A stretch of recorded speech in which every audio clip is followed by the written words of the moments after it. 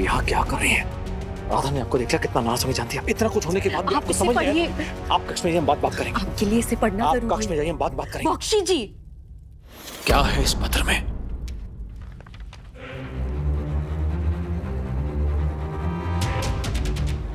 बख्शी जी राधा दीदी अपने आप में नहीं है। मुझे चेतावनी दी है उन्होंने कि अगर मैंने उनकी बात नहीं मानी तो वो अपने होने वाले बच्चे को कुछ कर देंगी। इस बच्चे की सुरक्षा के लिए जल्दी कुछ कीजिए।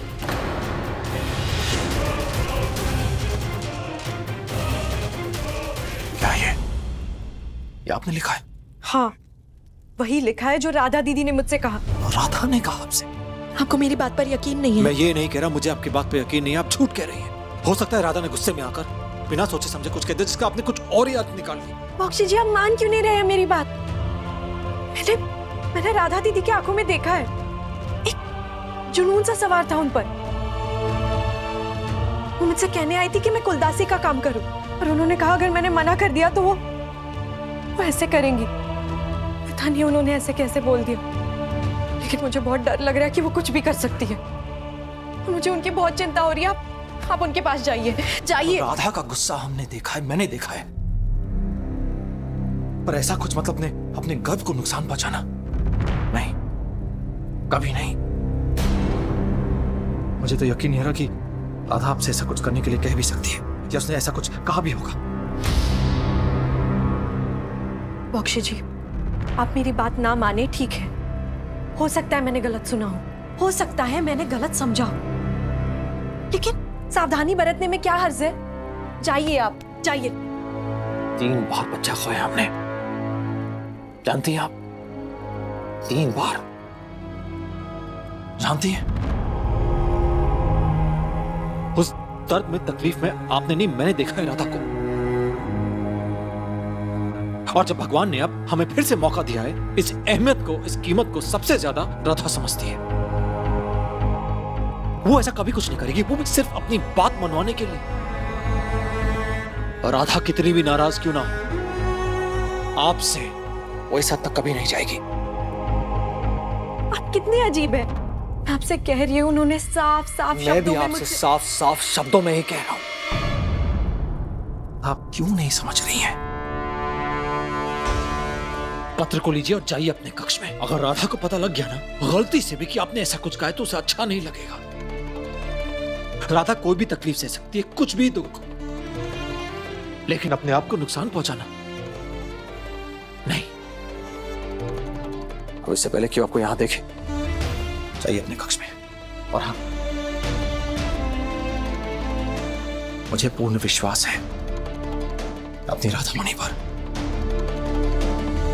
था और रहेगा भी।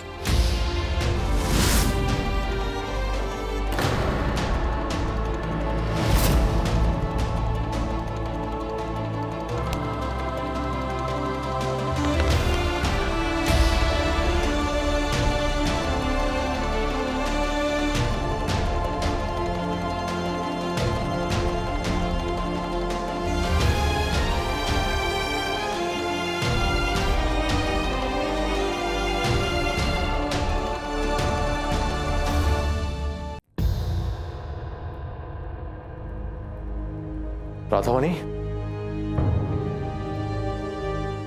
राधामणि? जी। राधा अरे तुम बीच बीच में कहाँ गायब हो जाती हो? ये जो खेल है हमारी संतान खेलेगा जब वो जब वो आएगा। लुक्का छिपी वाले खेल। वैसे हर्षवर्धन अच्छा नाम है। मुझे पसंद आया। लेकिन अगर प्रियदर्शिनी? ये नाम भी मुझे पसंद आया। यही पूछना चाहती थी ना? मुझे मुझे कुछ काम है। मैं करके आती हूँ।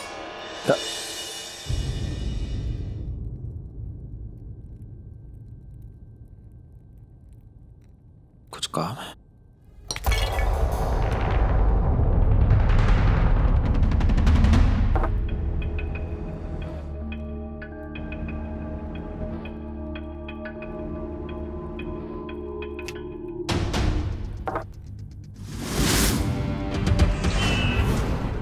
अगर बेटा हुआ तो हर्षवर्धन, शम, मुकुंद, युद्धवीर।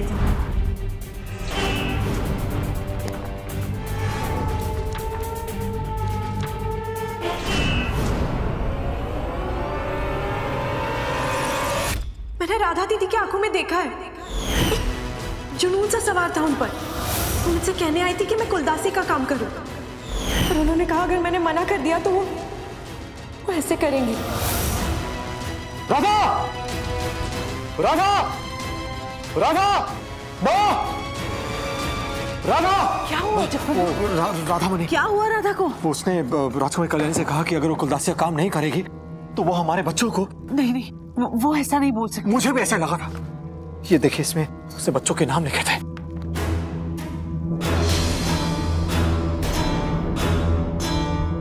ये सारे नाम तो काटे हुए हैं। क्यों? हो सकता है कि ये नाम पसंद ना आए हो इसलिए? कहीं राधा हमारे बच्चों को सच में। उसे जो दुख पहुँचा है उसके बाद तो वो कुछ भी कर सकती। वो बातें भी बहुत अजीब कर रही थी। कहीं कुछ अनर्थ ना कर बैठी ये लड़की। नहीं नहीं भाभी ऐसा बिल्कुल नहीं कर सकती। बहुत समझदार है वो और ऐसी मूर्खता तो वो बिल्कुल नहीं करेगी। अतः मुझे लगता है ये राजकुमारी कल्याणी की कोई चाल है। मुझे बिल्कुल विश्वास नहीं है उसके ऊपर। इतनी घटिया सोच, ऐसा सोच भी कैसे सकती है वो?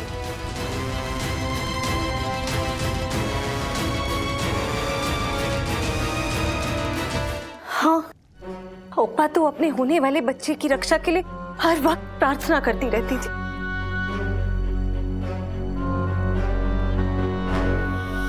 आप मेरे दो फल भिजवा दीजिए। खाना मैं बाद में खा लूँगी। मुझसे मुझसे फल मांगे थे उसने।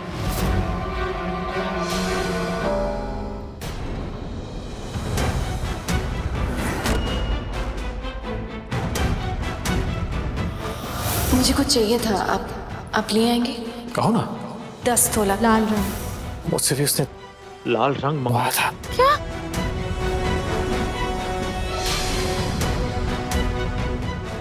इस राजकुमारी ने मेरी बेटी को क्या दुख पहुँचा दिया? चलो हम हम राधा को ढूंढते हैं। राधा! राधा! राधा! राधा! राधा! राधा भाभी! राधा! ओप्पा ओप्पा ओप्पा राधा! राधा! राधा! कहाँ गई? राधा! राधा भाभी। राधा भाभी। अभी कहाँ हैं आप?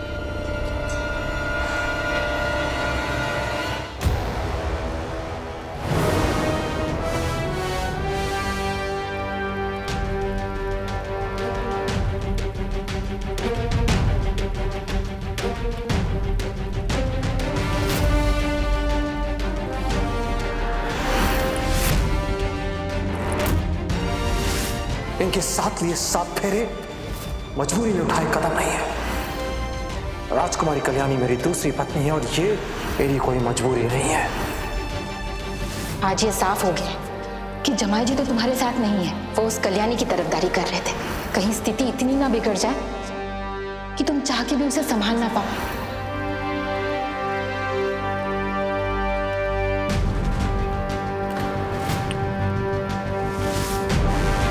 घाव भरने के लिए किसी और को चोट पहुंचाई जाए इसके पक्ष में मैं नहीं हूँ।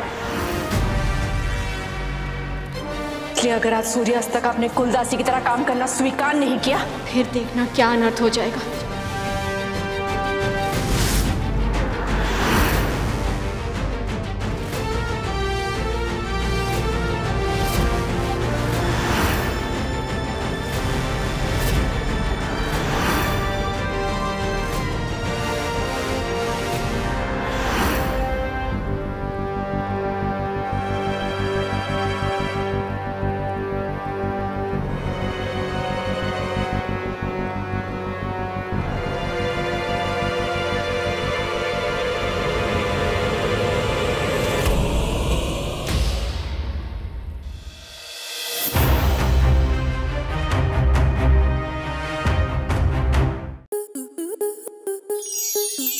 प्लस के ऐसे ही और बेहतरीन लम्हे देखने के लिए सब्सक्राइब करें हमारे यूट्यूब चैनल को।